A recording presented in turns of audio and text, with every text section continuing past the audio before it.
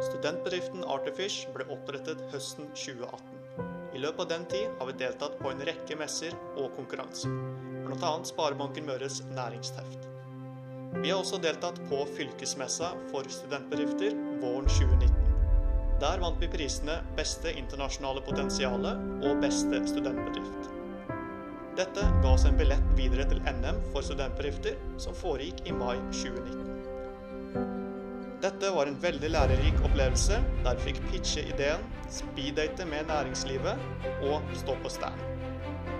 Her stakk vi av med prisene Beste innovative bedrift, Beste HR, og i tillegg vant vi prisen for Norges beste studentbedrift.